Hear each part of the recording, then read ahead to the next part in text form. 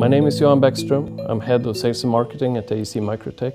We are a space company that focus on small satellite market. The company is based on uh, research at Uppsala University.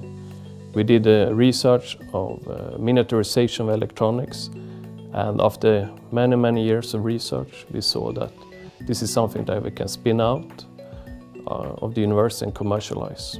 Uh, I am Urban Rönnbäck. Uh, I'm one of the founder of Metasphere Technology in Luleå. Uh, we are a metallurgical company. We are situated here in Luleå. What we actually want with our company and our new metallurgical process is to achieve new high performance materials which we can see have a great demand in many different kind of industries.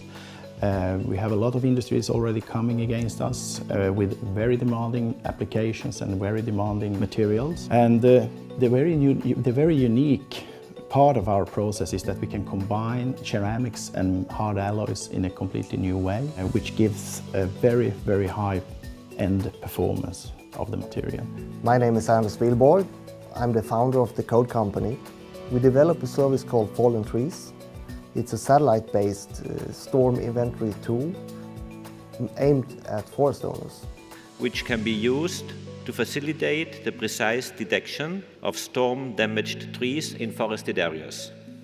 It will be an alternative uh, to costly and lengthy inspections by helicopters, drones and manned patrols with the swipe of your finger. So I'm very glad to call the winner of this app camp, Mr. Anders Wihlborg from Sweden. It's a great acknowledgement to have won the ESA App Challenge. And we look forward to 2016 where we can launch our service with the help of the development package offered by the ESA BICS. An incubator, of course, is similar to what you would see with a prematurely born child. Uh, they require a lot of support, service, they require a lot of nourishment to be able to grow. It's the same here. We are often getting companies who are very early stage, quite premature in their development, and through incubation, through providing services, support, and environments where they can grow and foster their entrepreneurship, grow, grow their company, basically. We can, uh, through incubation, provide the right setting and environment for companies to grow to successes. Without the incubator in Luleå, the ABI incubator, we, we can't see that we, we, we have made a success actually.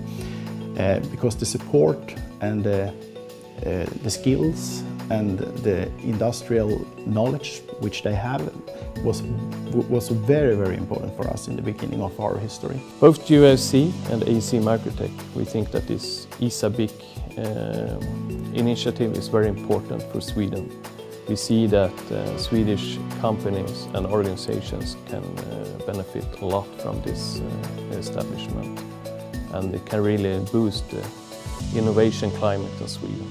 So we are the ones trying to initiate, ignite the fire, the entrepreneurial flame.